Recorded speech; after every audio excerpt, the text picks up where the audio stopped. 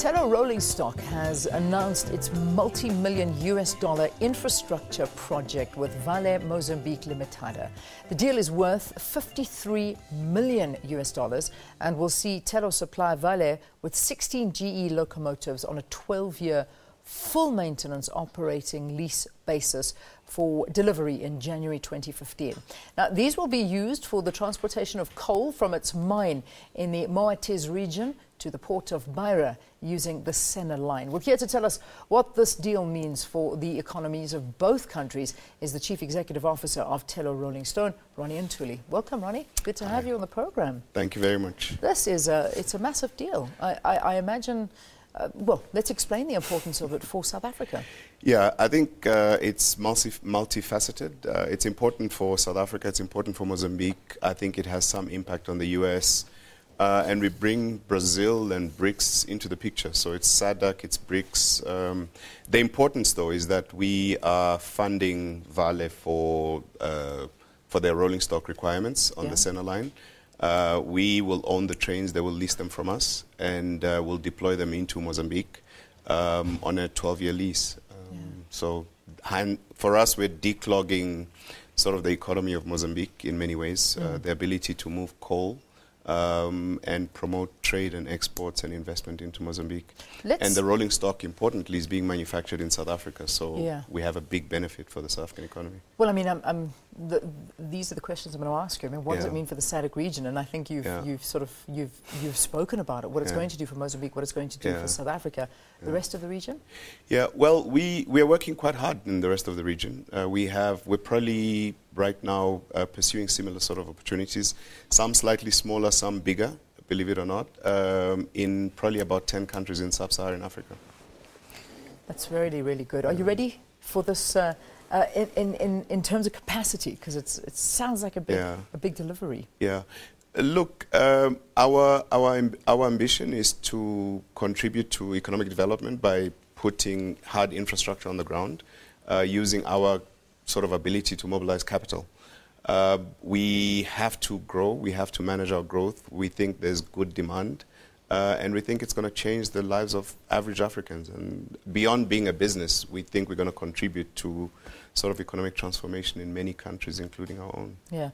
In terms of employment, how, how many people are yeah. you employing to work We're a small team. We're about 10 people. Yeah. Uh, but you, because we're a, we're a finance house, strictly speaking. Absolutely. So, but if you look at the impact that mm. we make in ordering the rolling stock, uh, these, these trains in particular are going to be manufactured uh, at the Transnet site in Pretoria. Uh, between GE and Transnet. So the number of people that are going to be employed there, the people that are going to be employed in Mozambique, as a result, uh, that's where the impact comes in. Yeah, and it's just incredible to know that these are coming out of the country. And yeah. on screen, uh, yeah. these are the pictures of yeah. them. So th this, this is what they're going to look like? No, these, these are images. Uh, our trains are still in, in manufacturing process. So they, it's not going to be these locomotives? No, it's not these exact different. ones. It's not these exact ones. Uh, these particular ones are still being manufactured, okay. but we've had locomotives, wagons, and other assets delivered in, in even in Mozambique. We've already go, had uh, last week we had delivery of other uh, locomotives into Mozambique. Yeah. yeah so. Fantastic. In terms of the different sectors that are going to be impacted, yeah. you spoke about Transnet. Yeah. where are we going to feel this? Yeah. Look, let's look at the let's look at the industrial value chain for something like this. Uh, the biggest component of this is steel.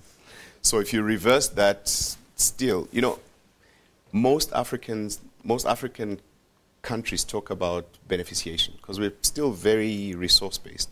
Most countries talk about um, beneficiation of, of, met, of the minerals. This is a real example of how you actually achieve beneficiation through industrialization. So from steel to, from iron ore, manganese into steel and on and on and on, uh, the different components and the relationship uh, to, to industry, there's so much in, in, in manufacturing a locomotive. That's on the upstream. On the downstream, uh, yeah, it's all things related to trading commodities. Yeah. Uh, so it's quite quite sizable. So and all the service provisions into the mines and into the port and into the railway line. It's quite sizable. So this deal is with Mozambique. Um, you, you, mentioned that there are others in the pipeline. Which yeah. other countries are you dealing with right now? Well, I'd love to tell you, but I can't. it's classified information. It is classified information. But uh, put it this way: we are Southern Africa, Central Africa, West Africa, Fantastic. East Africa. Uh, we're looking at transactions. you see, now that's, Uh, that's, that, that's what South Africa needs. Yeah. We need Yeah. more deals like Yeah. this.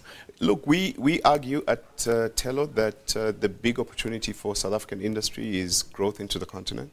Um, it's a big opportunity, and Yeah. you know most of our so we have we still have the biggest industrial base on the continent of Africa, and to roll that out into the continent is a big opportunity for us. Well, congratulations on this deal. We hope to see you uh, a lot more in studio telling us about the other, the other countries that have jumped on here. But visit the website, www.thelorollingstock.co.za, and you'll be able to see exactly what the company does and, uh, and some more announcements from them. Thanks for joining us here on the program. Ronnie Ntuli is the CEO of Thelo Rolling Stock.